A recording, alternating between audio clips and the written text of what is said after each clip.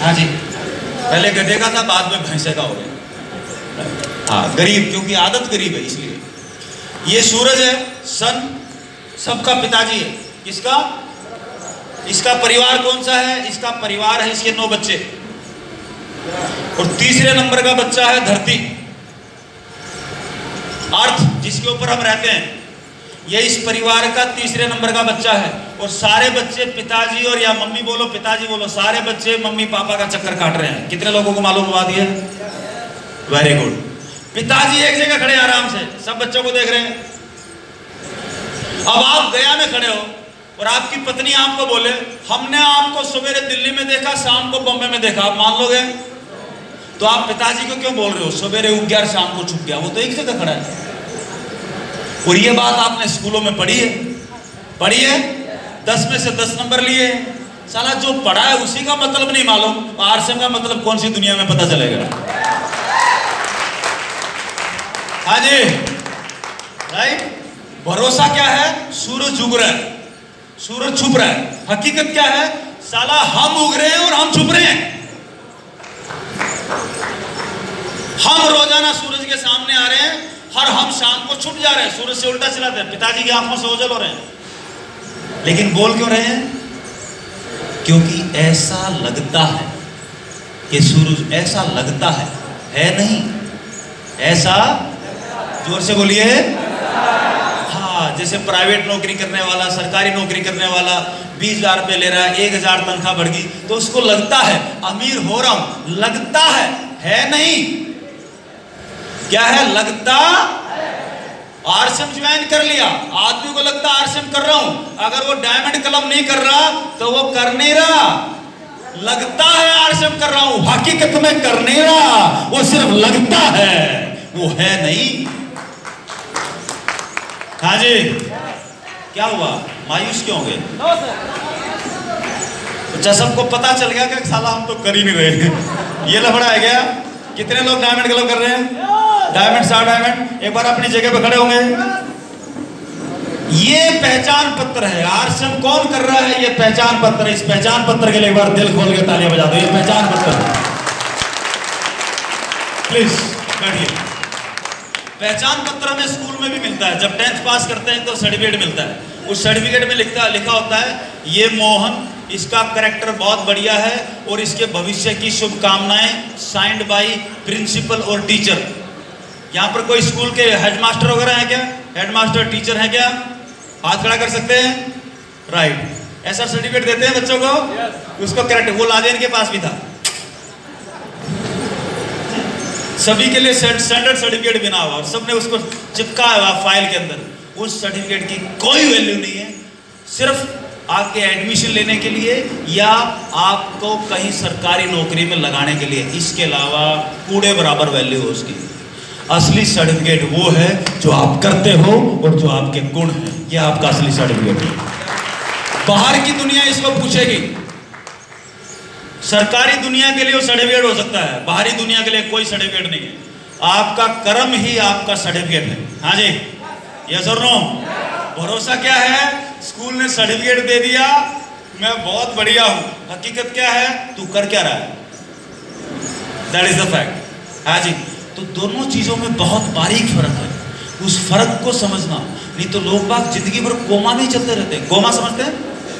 आदमी ज़िंदा है, आदमी चल रहा है, लेकिन उसको होश ही नहीं है। उस स्टेज को बोलेंगे, हिंदी फ़िल्में देखी कभी? हिंदी फ़िल्मों में आप देखोगे डॉक्टर एक आदमी हॉस्पिटल में बेहोश पड़ा है। उसको होश नहीं आ रहा।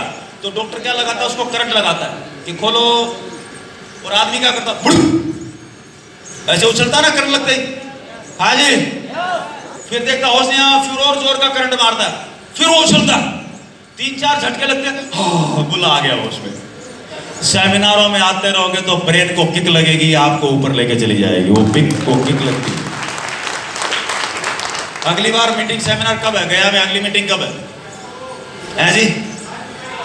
पाँच जुलाई। बाईस जुलाई। एक आदमी बोलो, रेडियो बाज़ार मत बनाओ। हाँ। अट्ठाईस जुलाई को जब आओ, अगर आज यहाँ पर आने से आपके ब्रेन को ताजगी आ रही है कुछ फ़ायदा हो रहा है तो 28 जुलाई को अपने साथ पाँच पाँच दस दस बीस बीस लोगों को लाके और ठोक दो, यहाँ पर ये आपका काम है। हाँ जी, जो अच्छी जानकारी आपको मिली है, उसको लोगों तक पहुंचाओ। कर सकते हैं ये काम? कर सकते हैं?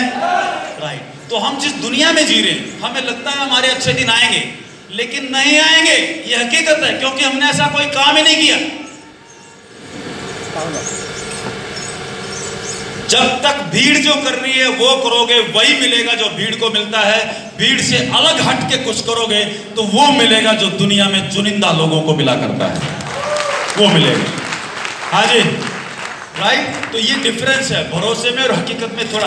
आपको ये बात इस तरीके से पकड़ में नहीं आए तो आपको दूसरे तरीके से पकड़ाता हूँ ज़िंदगी भर याद रखने के लिए। एक लड़का स्कूल से आया। कितने लोगों के बच्चे हैं? आपने। ये उठाना बहन जी। हाँ। मोबाइल देख रहे हो क्या कर रहे हो? कितने लोगों के बच्चे हैं जो प्राइमरी स्कूल में जाते हैं, घर में आते होमवर्क कराते हो? आवाज़ नहीं आई। होमवर्क कराते हैं ना? तो एक बच्चा घर में दौड़ता हुआ है, पापा को आया, बोला बोला, पापा, होमवर्क करा दो, होमवर्क करा दो। मैडम ने होमवर्क दिया। बोलते यार, रोज़ाना तुम्हारा होमवर्क पहले के पिताजी मज़े में थे, अपने आप कर लेते थे। आजकल के पिताजी तो टेंशन में है। राइट मम्मी, पापा रोज़ाना होमवर्क कराते हैं। कराते हैं ना?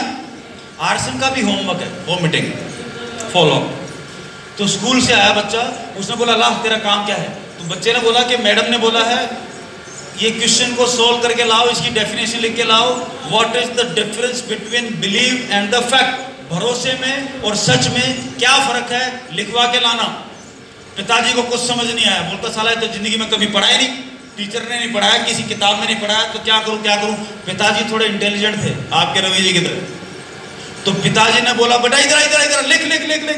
भरोसा मतलब तू मेरा बेटा है, ये मेरा भरोसा है। लिख यहाँ पर, हकीकत क्या है? तेरी मम्मी से जाके पूछ। हाँ जी। लोग क्या है, जो भरोसा है, जो बिलीव है, भरोसा होना अच्छी बात है। भरोसे को बोलेंगे विश्वास। होना अच्छी बात है, लेकिन अंधविश्वास होना आपकी ज़िंदगी के लिए घातक है। अंधविश्वास समझ रहे हैं? बबूत जिसका कर्म पे भरोसा नहीं है, उसका अंधविश्वास पे भरोसा है बबूत पे भरोसा है। कदम सिंह यहाँ पे आज आपको बताया जाएगा, यार से बिज़नेस है, इससे आप ऐसा ऐसा ऐसा कर सकते हो। कंप्यूटर का युग आया, तीस साल पहले कंप्यूटर की वजह से यार से बिज़नेस आया। अब्दुल कलाम आज़ाद साहब से लेके, मोदी जी से लेके, हर दुनिया के बड़े बड़े आदमी बोल गए जिन लोगों ने इस युग में डायरेक्ट सेलिंग को नहीं समझा आर से बिज़नेस को नहीं समझा, वो देश भी बहुत पीछे छूट जाएगा और वो लोग भी बहुत पीछे छूट जाएँगे। अब जब इतने बड़े बड़े लोग अब्दुल कलाम आज़ाद साहब जैसे लोग जिन्होंने 30 साल पहले किताब लिखी थी vision 2020 India will be number one तीस साल पहले उनको कैसे पता चल गया? क्योंकि देश जो कर रहा था, उन गुणों का आकलन करके उन्होंने पता लगा दिया था कि ये काम हम कर रहे हैं, इस हिसाब से नंबर वन बनेंगे। आज इकोनॉमी की ग्रोथ में पिछले कई साल से इंडिया नंबर वन है इकोनॉमी के साइज़ में तीसरे नंबर वन पे है, और अगले पाँच से छह साल में हम नंबर दो पे होंगे, दस साल में चाइना वाइना सबको पछाड़ के हम नंबर वन पे जाने आ रहे हैं। ये होने वाला है। और वही काम डायरेक्ट सेलिंग की दुनिया में होने वाला है। वही मैं आपके साथ जब मैं विजन की बात करूँगा तो आपके साथ डायरेक्ट सेलिंग में आपका भविष्य क्या है? आप देखो थोड़ा सा आगे को देखो। बड़े लोग वो हैं जो समय को समय से पहले भाप ले। राइट और गरीब वो है, तीस साल निकलने के बाद भी छाती ठोकता रहे। उस टाइम मैं ऐसे कर लेता तो मैं ऐसे कर लेता तो मैं ऐसे कर लेता तो ये गरीब है। है ना? ज़ोर से बोलिए। है ना? तो तो तो इससे शादी नहीं होती, मेरी ऐश्वर्या राय से हो जाती तो। साले, तेरे हिस्से की जो मिली है, उसकी तारीफ़ करेगा तो ऐश्वर्या राय से बढ़िया वो अपने आप हो जाएगी। उसकी तारीफ़ करना सीख ले। तुम कौन सा सलमान खान है? जो विविधा है। हाँ जी। आगे बढ़े। चलिए, आगे बढ़ते हैं। नाउ आप देखो।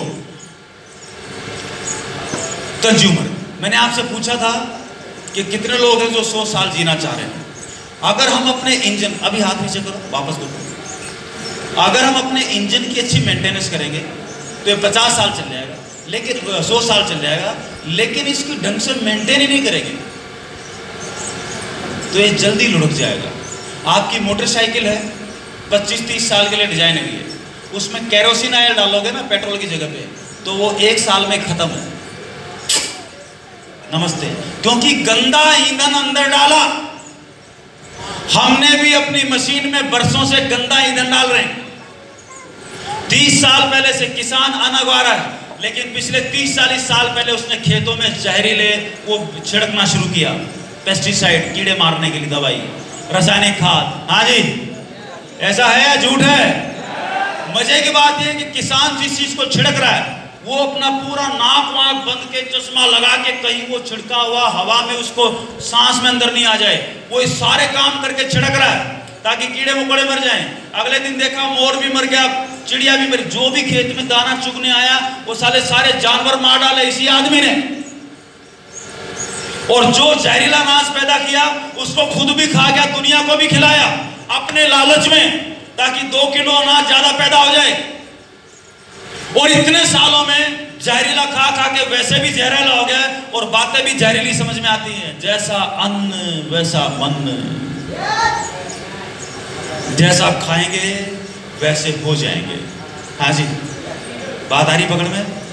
यस और नो बात पकड़ में आ रही है क्या? ऊपर से रहा सहा। ऊपर से रहा सहा। हम क्या करेंगे? सिगरेट की डब्बी के ऊपर लिखा हुआ है, पियोगे तो मरोगे।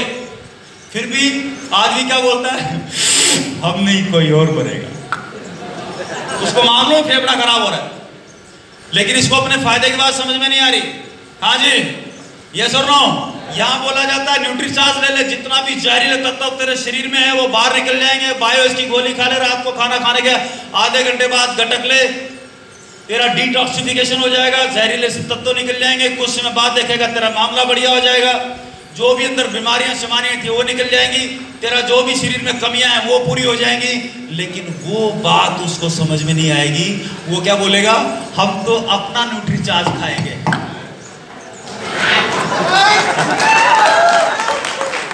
उसको आरसीएम वाला न्यूट्री चार्ज समझ में नहीं आता? उसको अपना न्यूट्री चार्ज बहुत लोग तो आधा आधा किलो रखते हैं। गया में नहीं, दिल्ली की बात कर रहा हूँ मैं। एक बार तालियाँ बजा दो दिल्ली वालों के लिए, दिल्ली वाले करते हैं। और जोरदार तालियाँ बजाओ दिल्ली वालों के लिए, ताकि उनको पता चले उनका न्यूट्री चार्ज क्या है। साला, जिस आदमी को अपनी मौत समझ में नहीं आ रही, उसको अर्शम नाम की ज़िंदगी कहाँ से समझ में आ जाएगी? उसको नहीं आ सकता। समय लगेगा। लोग अमीर तो होना चाह रहे हैं। लेकिन अपना बैंक अकाउंट नहीं खुलवाते। बैंक अकाउंट खुलवाने के लिए भी साला पाँच सात साल मोदी जी को मेहनत करनी पड़ी है। और उन्होंने भी बड़े तरीके से खुलवाए हैं। लोगों को अपने फ़ायदे की बात ही समझ नहीं आ रही। उन्होंने कई बार समझाया, भाई, खाता खोल लो, जो भी सब्सिडी का पैसा है, इधर का है, उधर का है, तुम्हारे वजीफे का है, बुढ़ापे का पेंशन है, खेतों का कुछ वो मुआवजा है, कुछ भी है, ताकि सीधा तुम्हारे खाते में पहुँचे, नहीं तो बिचौली अस्सी परसेंट उसको भी खा जाते हैं।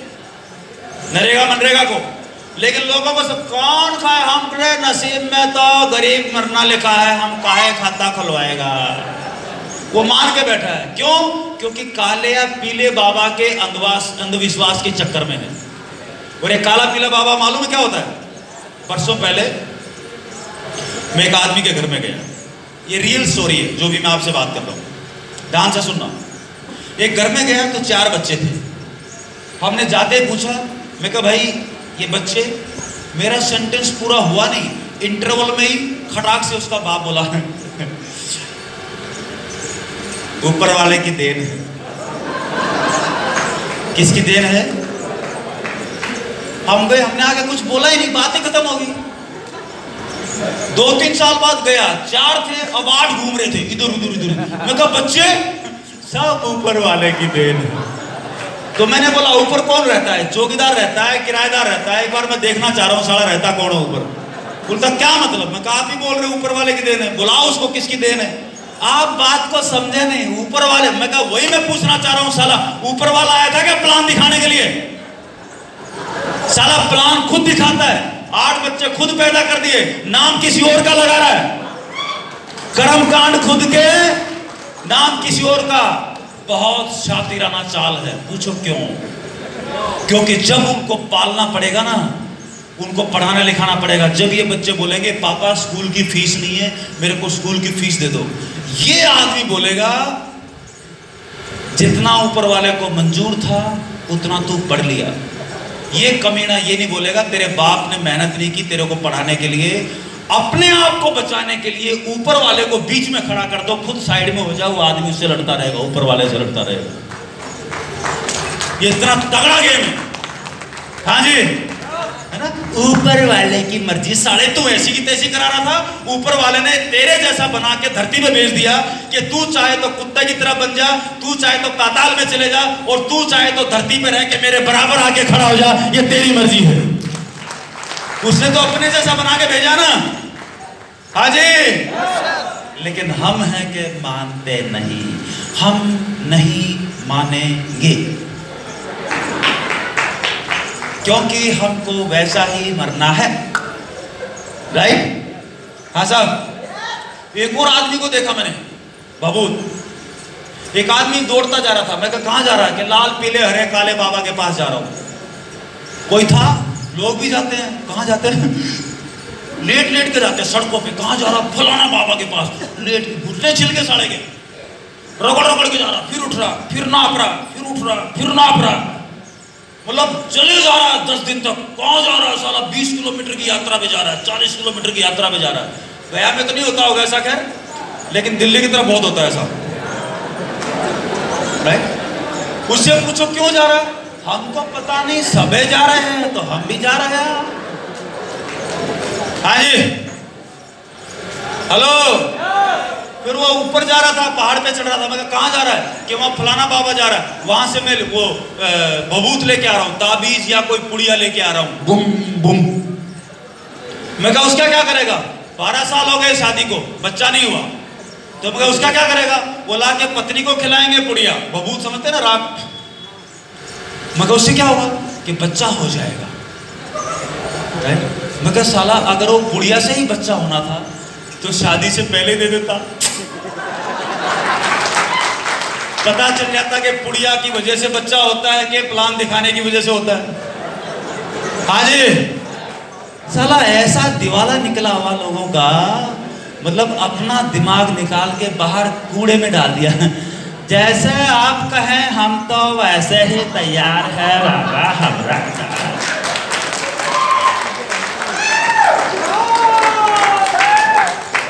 और फिर बोलते हैं ऊपर वाले का जो हमारा नसीब वही होगा। साले, तेरे कर्म तो कुछ और ही है। तो जिन लोगों का कर्म पे भरोसा है, उनके लिए आरसिम है। जिनका भभूत पे भरोसा है, उनके लिए आरसिम नहीं है। जिनको भरोसा है, मैं सौ साल जीऊँगा, लेकिन खा क्या रहा है? उल्टा पुल्टा अपने इंजन को खराब कर रहा है और फिर भी उम्मीद है, ऊपर वाला हमको ज़िंदा रखेगा सौ साल। तो साढ़े देख, देखता हूँ कैसे रखेगा। हाँ जी। आरसीएम में जितने भी प्रोडक्ट्स हैं न्यूट्रीचार्ज के। न्यूट्रीचार्ज के। हेल्थ गार्ड आपका हरी संजीवनी, खेती वाले, जितने भी प्रोडक्ट्स हैं, चाहे वो गुड डॉट हो, जितनी भी चीज़ें हैं, ये इसलिए हैं कि आदमी का इंजन सो नहीं, सवा सौ साल चले। और आदमी दो दिन एक्स्ट्रा ज़िंदा रहने के लिए पूरी ज़िंदगी की कमाई को हॉस्पिटल में डाल देता है। पूरी उम्र बोलता है, बीवी जब भी बोलती है, इतना लेट कहाँ से आओगे? लेट क्यों आए? तुम्हारे लिए ही खटने गया था। जैसे बीवी बोलती है लेट क्यों आए? सात बजे आना था, नौ बजे क्यों आए? तो पति महाराज गुस्सा होते हुए क्या बोलते हैं? तुम्हारे लिए ही मरने गया था, तुम्हारे बच्चों के लिए कमाने गया था, तेरे लिए कमाने गया था। तो बार बार वो क्या बोलता है?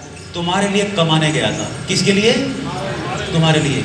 जिस दिन वो बीमार पड़ता ना पचास पचपन साल की उम्र में, इतने साल में जो दो तीन लाख रुपया जमा किया होता है, इन्हीं गलत हरकतों की वजह से।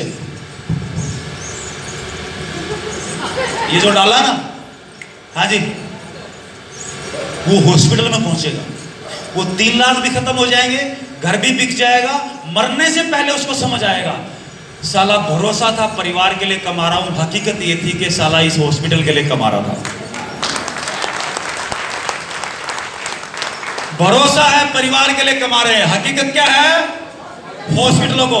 आप देख लेना गया में 20 साल पहले हॉस्पिटल कितने थे और आज कितने हैं। साला गली गली मोहल्ले मोहल्ले में हॉस्पिटल पैदा हो गया, क्योंकि हमने एक दूसरे की देखा देखी इतनी ज़्यादा बीमारियाँ मोहल्ले ली। घर में कभी चूहा देखा है? कितने लोगों ने देखा? अब देखो, हाथ हाथों के खड़े, साला इतनी उम्र में चूहा ही नहीं देखा तो अमीरी कब देखेगा? चूहा देखा है। चूहा जब घर में अनाज खाया था, रोटी खाया था, तब परेशान होते हैं कभी? आप क्या करते हो? कि किस तरीके से? तो चूहे को बाहर कैसे निकालते हो? पिंजरा विंजरा डालते हो, कुछ गोली वोली डालते हो, जहर की। खुद खा लिए तो चूहे के साथ खुद भी मरोगे। हाँ जी। लेकिन प्रकृति का नेचर का सबसे अच्छा नियम है। आप चाहते हैं कि आपके घर में ज़िंदगी में चूहा नहीं आए, आराम से एक बिल्ली पाल लो। बिल्ली को घर में जगह दे दो। आप अपना काम करो, बिल्ली अपना काम करेगी, चूहों से मिट्टी मिल जाएगी। आप जो कर रहे हो, वो करते रहो। आरसम के सामानों को अपने घर में जगह दे दो। उम्र भी सौ साल हो जाएगी और पैसे भी आ जाएँगे। आप उसको घर में जगह दे दो। हम देंगे नहीं, क्योंकि हमारी आदत पड़ी हुई है पड़ोस से उधार में लेने की और जहरीला खा, जहरीला खाने की। हाँ जी। और वो बनिया है दुकान वाला, हमारी इतनी इज़्ज़त करता है का बताएँ, इतनी इज़्ज़त करता है, हम एक बार सामान मांगते हैं, तीन बार दे देता है। वही खाते में हाँ जी। बात आ रही पकड़ में? यस और नो वो चाह रहा है। आदमी दो मिनट में खरीद ले आरसम से भी। बशर्ते अकाउंट खुल जाए उधार का। उनको नहीं मालूम, गरीब आदमी ज़िंदगी भर उधार में जीते हैं और अमीर आदमी हमेशा कैश में चलता है। हाथों हाथ चलता है। उनको नहीं मालूम। तो आगे से उधार में चलेंगे कि कैश में चलेंगे? बाजारू खान पान में चलेंगे कि आरसम के खान पान में चलेंगे? अब आप देखो। वर्षों पहले कुछ दो तीन एग्ज़ाम्पल बताता हूँ आपको। फ़ायदा क्या होता हेल्थ कार्ड लॉन्च हुआ था 2006 के आसपास 2006 या सात में।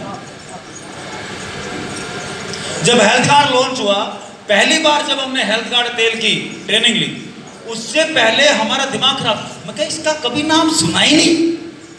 ये तेल आ कहाँ से गया? चावल के ऊपर की भूरी लेर का तेल, चावल का सरसों का सुना, तिल का सुना, देसी की सुना, डालडा सुना, नकली सुना, असली सुना, सब कुछ सुना। ये नाम तो हमने कभी सुना ही नहीं। जिस चीज़ को ज़िंदगी में आपने कभी नहीं सुना, और दुनिया अगर बोल रही है, बढ़िया है, आपको उस प्रोडक्ट की ट्रेनिंग लेने की सख्त ज़रूरत है, नहीं तो बहुत बड़ी चीज़ हाथ से छूट जाएगी, उसकी ट्रेनिंग लेने की। क्योंकि शुरुआती 20 साल में लोग ट्रेनिंग की वजह से खाएँगे। बाद में लोग देख देख के खाएँगे। 2007 में तेल लॉन्च हुआ। हमारी धर्म पत्नी, हमारी पत्नी का पैर इतने मोटे मोटे रहते थे सूझ जाते थे, उनको थायराइड था उस टाइम पे। घर के सामने ही थायराइड लेबोरेटरी थी। हर महीने टेस्ट होता था, वो कुछ गोलियाँ वोलियाँ लिखते थे, वो खाते थे। तेल लॉन्च हुआ, घर में आ गया, सारे मैंने बता दिए, ये गुण है, ये ऐसा है बॉइलिंग टेम्परेचर ज़्यादा है, बाकी बाज़ार के घी तेल एक किलो लगेंगे, ये आधा किलो में काम हो जाएगा, और इसकी कोई बदबू भी नहीं है तो भिंडी बनेगी तो भिंडी की खुशबू आएगी, आलू बनेगा तो आलू की, वो सारी चीज़ें धर्मपत्री को बता दी धर्मपत्नी ने मान लिया। और बने बोला तो बढ़िया है। साल भर बाद मैंने पत्नी को पूछा, वो लेबोरेटरी में जाते थे थायराइड वगैरह का, तेरा क्या हालचाल है? बोला, मेरे को भी ध्यान नहीं है, पता नहीं, कहाँ से गायब हो गया? एक तेल घर में आया, साली चार बीमारियाँ घर से बाहर भागी। बिल्ली को घर में लाओगे तो चूहा भाग जाएगा, आपके पड़ोस से भी भाग जाएगा। आप सुनो, कुछ समय पहले न्यूट्रीचार्ज मैन आया। जब मैन आया तो एक ऑफ़र निकाला जो पाँच हज़ार बीवी करेगा, उसको होटल में ट्रेनिंग मिलेगी। जो करना चाह रहा उसी को ट्रेनिंग देंगे ना? बाहर मूफली वाले को तो पकड़ के लाएँगे नहीं। आप में से किसी ने शंभुनाथ योगी का नाम सुना है? शंभुनाथ सुना है। उसका साला है वो जयपुर में रहता है। शंभुनाथ योगी जो टीसी सर के ड्राइवर थे राइट उसका साला जयपुर में रहता है। जब ये न्यूट्रीचार्ज मैन लॉन्च हुआ शायद 2008 9 के नौ के आसपास की बात होगी। तो वो ऑफ़र निकाला तो चाय पत्ती बेचता है महीने में। मतलब दुकानों पे सामान वामान बेचता है। तो महीने की कोई गरीब आदमी है महीने में सौ, दो सौ किलो जो है वो चाय पत्तियाँ बेच के आराम से अपना पंद्रह, बीस हज़ार रुपया कमा लेता है। आर सिंह की चाय पत्ती बेच के, सिर्फ़ चाय पत्ती रिटेल करता है। आज तक दस साल से, एक ही काम पसंद है उसको। उसने बोला, मेरे को फाइव स्टार होटल में ट्रेनिंग चाहिए तो मैं खरीद ले। वो लिया, उसने बेच दिए। उसके पास दो तीन डब्बे वुमेन के और दो तीन डब्बे मैन के, वो बच गए। वो उससे बेचारे से बिके नहीं। वो रोज आए, सर, इसका क्या करूँ? सर, इसका, मैं मेरे सिर में मार दू। मैं कहा, साले, नहीं बिक रहा तो खा ले। कोई नहीं ले रहा तो तू खा ले। ज़िंदगी में कुछ नहीं खाया, इसको खा ले। दो डब्बे इसकी मिसिस खा गई वुमेन वाले दो डब्बे वो खा गया। आठ, नौ महीने बाद मिठाई का डब्बा लेके आ गया। बोला, सर, मिठाई खाओ। मैं क्या किस बात की? सर, मैं बाप बन गया। मैं क्या बाप बन गया? तो इसमें बड़ी बात क्या है? दुनिया बनती है? इसमें सर, आपको नहीं मालूम? मैं क्या क्या? सर, चौदह साल हो गए थे। चौदह साल से बाप नहीं बना था, पता नहीं क्या हुआ ये खाया। शरीर में क्या रुका हुआ था, क्या खुला हुआ था? शरीर अपने आप ठीक हो गया और घर में बच्चा आ गया। क्या हुआ, क्या नहीं हुआ? शरीर ठीक हो गया। वो भी पहले बहुत बबूतों के चक्कर में पड़ा था। उसने भी बहुत बाबाओं की पुड़िया खाई। बच्चा नहीं आया। हाँ जी। शरीर की जो भी कमी है वो दूर हो जाएगी तो नेचर आपके काम अपने आप कर देगा। बशर्ते प्लान दिखाओगे तो। और प्लान नहीं दिखाओगे तो बच्चा बच्चा रोल्टी वोल्टी कहीं से नहीं आने वाली। इस बात को समझ लो। सोचो, एक आदमी है, उसकी आज शादी हुई। और आज शादी होते हुए ड्यूटी पे चला गया दुबई। और पाँच साल बाद वापस आए। और वापस आके मोहल्ले में हल्ला मचाए। हो घर में तो रोल्टी है ही नहीं। पाँच साल हो गए ज्वाइन किए हुए। क्या किए हुए? किसको? आरसी को नहीं। शादी को। शादी की करते ही अगले घंटे दुबई चला गया। वापस पाँच साल बाद आया। और आके हल्ला मचा रहा है। हमारे घर में तो कोई रोटी चीवर है ही नहीं। साले पड़ोस को ठेका देके गया था क्या? लोग भी ऐसे करते हैं। आर सिंह का फार्म भरते हैं, आराम से चलाते हैं। हमरे लिए कोई और करेगा। पाँच साल बाद आते हैं, हमने करके देख लिया, कछु हुआ ही नहीं।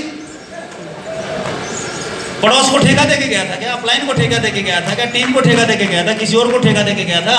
प्लान तू दिखाएगा तो तेरा टेक्निकल आएगा, तू बढ़ेगा, तेरे गुण बढ़ेंगे, तेरी ज़िंदगी बढ़ेगी, वो गुण तेरे खानदान में जाएँगे और इस जन्म में आरसम करता रहेगा।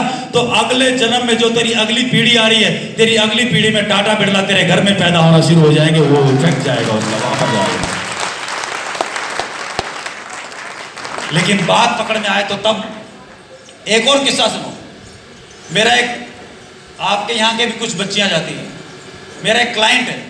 मेरे जितने भी क्लाइंट है, पच्चीस तीस साल पुराने क्लाइंट है कंप्यूटर्स के बिज़नेस के। उनमें से क्लाइंट है वनस्थली यूनिवर्सिटी वनस्थली यूनिवर्सिटी जयपुर से 70 किलोमीटर दूर, करीबन 100 साल पुरानी यूनिवर्सिटी है। राजस्थान के पहले चीफ मिनिस्टर हीरालाल शास्त्री जी ने आज़ादी से पहले स्टार्ट किया था उसको, शायद 1932 के आसपास। ना यहाँ पर करीबन करीबन चौबीस हज़ार बच्चियाँ पढ़ती हैं, सिर्फ़ लड़कियाँ पढ़ती हैं। रेजिडेंशियल वर्ल्ड की सबसे बड़ी रेजिडेंशियल यूनिवर्सिटी है वर्ल्ड की सबसे बड़ी। दुनिया की सबसे हाईटेक भी है और 100 परसेंट खादी भी पहनते हैं। हवाई जहाज़ तक बच्चों को उड़ाने की। इंडिया में अभी जितने भी पायलट बने हैं एयरफोर्स के, जो लड़ाकू विमान उड़ाती लड़कियाँ, वो सारे यहाँ की पैदाइश है। और सबने पार्ट टाइम और उन सबने एक ही रूल पे काम किया ट्रिपल एट जैसे मैंने किया इंजीनियरिंग किया, वहाँ पर भी लड़कियाँ गई इंजीनियरिंग करने के लिए। और इंजीनियरिंग करते करते आठ घंटे जम के सोया, आठ घंटे जम के पढ़ाई की, बाकी जो आठ घंटे थे एक्स्ट्रा टाइम था, उसमें कोई घुड़सवारी सीखता है, कोई दुनिया भर के स्पोर्ट्स हैं। कुछ बच्चों ने हवाई जहाज़ उड़ाना सीख लिया पार्ट टाइम जब हवाई जहाज़ उड़ाया तो पता चला हम तो हवाई जहाज़ के लिए बने। और उस एक्स्ट्रा टाइम की वजह से बाद में एयरफोर्स में आ गए इंडिया के सबसे पहले। अभिनव चतुर्वेदी का नाम सुना होगा ना? सुना ना? वो वहीं के पैदा उसके बाद तो 20 पायलट और आ चुके लेकिन नाम पहले का हो गया। जैसे आरसी में बोलते हैं, पहले करोड़पति मुकेश जी कोठारी राइट तो पहले पायलट का नाम दुनिया के बाद होगा, लेकिन प्रोडक्शन बहुत है। और वो सारी प्रोडक्शन पार्ट टाइम की है। जिसको दुनिया में आगे बढ़ना है, वो तीसरे घंटे को बर्बाद नहीं होने देता। और जितने भी गरीब लोग हैं, साला इस घंटे में गांजा, खैनी, पान, बीड़ी, तंबाकू, बीजेपी, कांग्रेस, पनवाड़ी, धनवाड़ी, गद्दी, चुगली, खोरी, और साला इस टाइम को बर्बाद करते हैं। ये आठ घंटे गरीबी लेके आता है, जिसने इस्तेमाल कर लिया, ये आठ घंटे अमीरी लेके आता है। और फिर क्या बोलता है? अच्छा दिन आएगा। साले जितनी साठ घंटे को काम में ले लेगा, अच्छे दिन अपने आप आएगा। अमीर बनना चाह रहा आदमी, लेकिन बैंक अकाउंट तक खोलना नहीं चाह रहा। यहाँ पर, इसी यूनिवर्सिटी के अंदर एक आदमी को, अब मैं बात कर रहा हूँ, आप जब सच्चे दिल से किसी के लिए कुछ करेंगे, अब ब्रह्मांड आपके लिए काम करना शुरू करता है। मेरे एक दोस्त, क्योंकि यहाँ पर पाँच सात हज़ार तो टीचर है कभी ज़िंदगी में अपने बच्चे को पढ़ाना ना बिटिया को पढ़ाना हो दुनिया की सबसे बढ़िया जगह है। लेकिन एडमिशन ही नहीं होता, उसके लिए पढ़ना पड़ता है। हाँ कि जाए, भर्ती करा दिया। राइट नब्बे पचानवे परसेंट चाहिए, उससे कम में एडमिशन नहीं होता। क्योंकि पूरी दुनिया के लोग आने लग वहाँ पर बात आ रही पकड़ में? और जब चार साल बाद, पाँच साल बाद छः साल बाद, दस साल बाद बच्चा वहाँ से निकलता ना, कुछ और ही निकलता हो प्रोडक्शन क्योंकि पूरा सॉफ्टवेयर उसका बदला हुआ होता। है और उड़ान भरा होता है जितनी भी बड़ी बड़ी महिलाएँ देखोगे आप, किसी भी में देश में हो, सब कभी ना कभी यही पड़ी हुई है। तो गर्ल्स एजुकेशन के ऊपर सौ साल से काम कर रहा है। कितने साल से? ज़ोर से बोलिए। सौ साल से। तब जाके नतीजे आने शुरू हुए हैं। और हम लोग क्या सोचते हैं? आरसीएम का फार्म भरेंगे, अभी के अभी रात को ही करोड़पति हो जाएँगे। कब हो जाएँगे? ज़ोर से बोलिए। साला शादी करता है बच्चा आने में भी नौ महीने लगते हैं। कम से कम। कितने? ज़ोर से बोलो। कि कम से कम बोलो। नौ महीने कम से कम। ज़ोर से बोलो। कम से कम। वो भी प्लान दिखाएगा तो।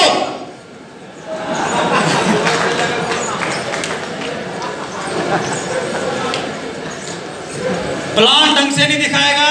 नौ दुनिया अठारह, नौ तिया सताइस नौ चौक, छत्तीस, चार साल हो जाएँगे।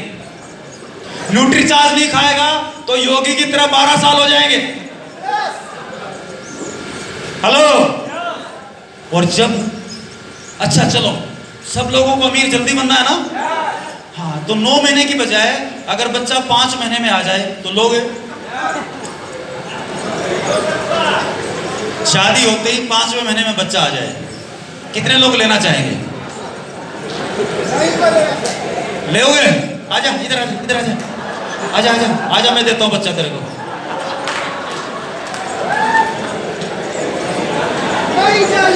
फिर बोलेंगे बच्चा कहाँ से आया?